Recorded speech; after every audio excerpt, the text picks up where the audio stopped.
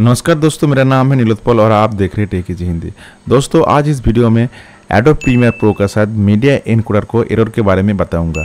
देखिए, मैं adobe Premiere Pro का अंदर एक वीडियो को एडिट करके रखा हूँ और इस वीडियो को मैं मीडिया इनकोडर के अंदर एक्सपोर्ट करना चाह रहा हूँ। देखिए, मैं एक्सपोर्ट के अंदर आ रहा हूँ, उसके बाद मीडिया के ऊपर क्लिक कर रहा हूँ।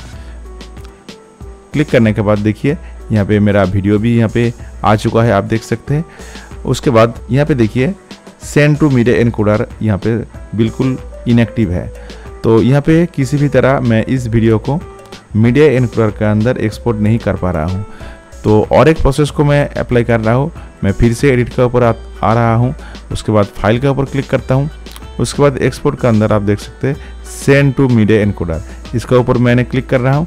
देखिए यहाँ पे मीडिया एनकोडर नॉट इंस्टॉल करके मैसेज आ रहा है और उसका नीचे Adobe media encoder is not install please download and install E to use this feature तो इस तरह यहाँ पे एरर आ रहा है। तो इस एडो प्रीमियर प्रो का अंदर मैं किसी भी तरह मीडिया एनकोडर को इसके साथ कनेक्ट नहीं कर पा रहा हूँ। लेकिन मेरा पीसी के अंदर मीडिया इनकोडर बिल्कुल इंस्टॉल है। आप देख सकते हैं यहाँ पे मीडिया इनकोडर का वर्सन आप, आपके सामने है। एडोब मीडिया इनकोडर 2019 इंस्टॉल है और यहाँ पे किसी भी तरह उस वीडियो को इस मीडिया इनकोडर के अंदर एक्सपोर्ट नहीं कर पा रहा हूँ। इस प्रॉब्लम को आप आसानी से सॉल्व कर सकते हैं। तो इसका जो पहला प्रोसेस है एडोब प्रीमियर प्रो जिस वर्सन का ऊपर इंस्टॉल है, आपका मीडिया इनकोडर को सेम वर्सन का ऊपर इंस्टॉल करना पड़ेगा। देखिए यहाँ पे मेरा एडोब प्रीमियर प्रो 2024 वर्सन में इंस्टॉल है। मैं इसका अंदर आ रहा हूँ और अबाउट प्रीमियर प्रो का अंदर आप देख सकते हैं। Adobe Premiere Pro version 24.0.3 build two तो मीडिया एनकोडर को 24 वर्सन का अंदर इंस्टॉल करना पड़ेगा। मैं मीडिया एनकोडर को ओपन कर रहा हूँ और इसका अंदर अबाउट मीडिया एनकोडर को ऊपर मैं क्लिक कर रहा हूँ और देखिए, इस वर्सन है 13.0.2 तो इसलिए media encoder Adobe Premiere Pro का अंदर सपोर्ट नहीं कर पा रहा है। इस प्रॉब्लम को सॉल्व करने के लिए मैं सेम वर्सन का एडोब मीडिया इनकोडर को इंस्टॉल करके आपको दिखाऊँगा। तो चलिए सेम वर्सन का एडोब मीडिया इनकोडर को इंस्टॉल करके आपको दिखाता हूँ। देखिए दोस्तों, यहाँ पे मैंने एडोब मीडिया इनकोडर 2024 वर्सन को इंस्टॉल किया है। मैं एक बार अबाउट के ऊपर आके आपको चेक कराता हूँ। देखिए, मैं Adobe media encoder version 2024.0.3 build two version को मैंने इंस्टॉल करके रखा हूँ।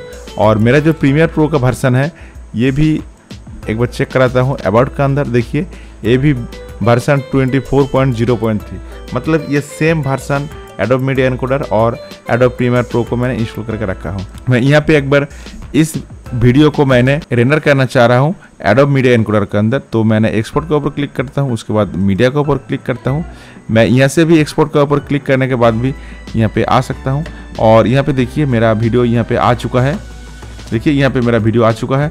और यहाँ पे आप देख सकते हैं सेंड टू मीडिया इनकोडर तो यहाँ पे एक बार मैंने क्लिक करता हूँ और देखता हूँ यहाँ पे एडोब मीडिया इनकोडर ओपन हो रहा है या नहीं।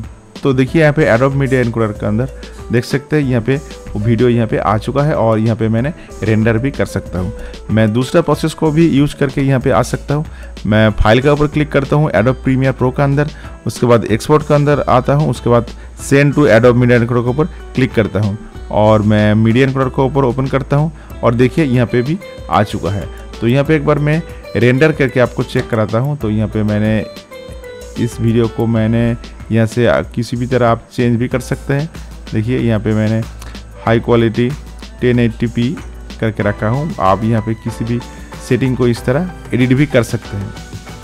देखिए, यहाँ पे यहाँ पे भी इस तरह एडिट भी कर सकते हैं। तो यहाँ पे रेंडर के ऊपर क्लिक करता हूँ और देखता हूँ यहाँ पे रेंडर हो रहा है या नहीं। और आप देख सकते हैं यहाँ पे रेंडरिंग प्रोसेस शुरू हो चुका है। इस तरह आप एडोब प्रीमियर प्रो और एडोब मीडिया इनकोडर को एक साथ लिंक करके आपका रेंडर का स्पीड काफ़ी तरह इंक्रीज भी कर सकता है। तो इस वीडियो में इतना ही। मिलते हैं किसी नेक्स्ट वीडियो में नया टॉपिक के साथ। तब तक के लिए जय हिंद बंदे मातरम।